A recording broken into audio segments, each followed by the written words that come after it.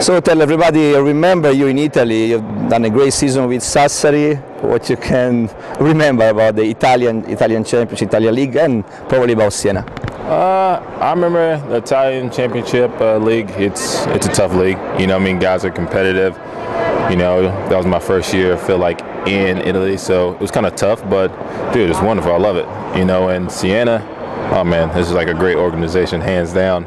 You know, from championships, from the players. You know, I feel like this is a good experience. You are followed by a lot of teams in this summer. Why did you decide to come in Siena?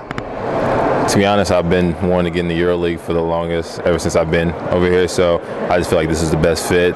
Everything they have going on, I just want to be a part of it. Lots of new teammates. I mean, people from US. That is the first experience here in Europe. Uh, do you think you will help them to understand uh, European basketball? Oh yeah, I feel like I can teach them a little bit. You know, some guys aren't used to it yet. Like they're they don't know what's going on. But I'm just at the end of the day, it's basketball. You know, you just get used to it. If you got any questions, just talk to me about it. Ciao. Ciao. Thank you.